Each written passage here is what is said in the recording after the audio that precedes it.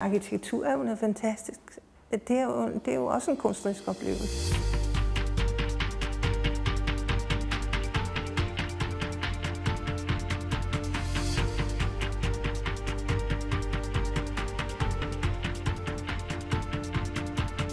Jeg gik herud simpelthen og gik rundt. Det var faktisk en søndag, og der var jo en atmosfære af, først og fremmest en atmosfære af arbejdsomhed. Og, og i hele området her. Og det synes jeg er utrolig vigtigt. Og der var så en øh, fyr, der har en maskinværksted. Og ham gik jeg ind og snakkede med og sagde, er der ikke noget? Nej, det mente han ikke, og sådan. Nå, så gik jeg hjem, og så gik der ikke mere end to uger eller sådan noget. Så blev der ringet op, og nu var der faktisk en ledig.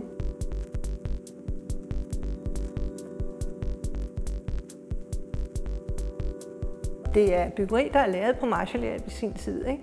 fordi at, øh, at øh, håndværkerne havde dårlige forhold efter krigen og skulle ud af hullerne og ud af de der fugtige kældre og sådan noget, og have nogle ordentlige vilkår. Ikke? Det, der er også godt ved det her sted, det er jo, at det øh, i virkeligheden kan fungere som moduler. Ikke?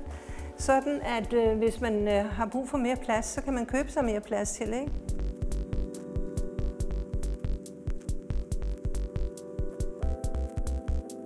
Der er en øh, snekermester herover, en laborant, et rengøringsfirma, maler. Her ved siden af er der to fotografer, og så er der en maler der. Så er der en øh, kloakmester derovre og, og en fotograf derovre også.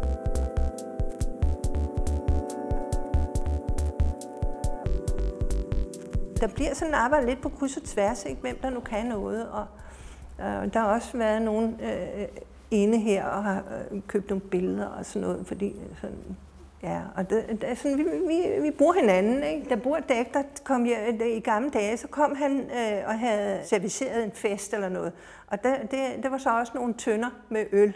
Og når de var drukket halvt op der om fredagen, så kom han tilbage med dem, og så skulle de i kloakken. Og når vi hørte den der kluk, kluk, kluk, kluk, kluk, så kom vi alle sammen drønende ud med vores glas. Og så sad vi faktisk derude en lille halv time eller noget og drak os en øl af det der, øh, som ellers skulle have været smidt i kloakken. Ikke? Det smagte helt udmærket.